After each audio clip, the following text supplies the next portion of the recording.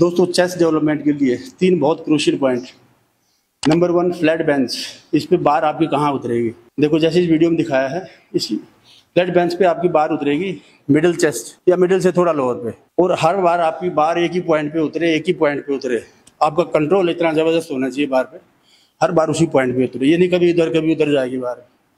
नीचे थोड़ा स्लो आएँगे, ऊपर पुश करेंगे पूरा। फिर नंबर टू इनक्लाइन बेंच इस पे आपका बार का पोजिशन रहेगा अपर चेस्ट पे। फिर वही बोलता हूँ कि हर बार आपका बार एक ही पॉइंट पे उतरे आपके अपर चेस्ट पे। कभी आगे, कभी पीछे नहीं। आपका कंट्रोल बहुत ज़बरदस्त होना चाहिए, अगर मसल पे पूरा इफ़ेक्ट डालना तो। और वही टेक्निक है, नीचे थोड़ा स्लो आएँगे, ऊपर पूरा स्पीड से पुश करेंगे। नीचे स्लो आएँगे, ऊपर पुश करेंगे। सेम डिक्लाइन पेंस पे आपका बार आएगा, आपके लोअर चेस्ट पे। हर बार आपके लोअर चेस्ट पे उतरे, आगे पीछे नहीं हो, बार पे कंट्रोल रखो।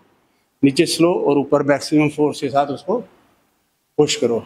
ये बार पोजिशन आप एक बार पकड़ लेंगे ना, आपकी चेस्ट की ट्रेनिंग बड़ी इंप्रूव कर जाएगी। आप करके देखें जो जो मैंने बताया है, बार पोजिशन नीचे आने का मोशन बार का, ऊपर पुश करने का और ग्रिप स्टांस इसको ध्यान से देखो वीडियो में। Thank you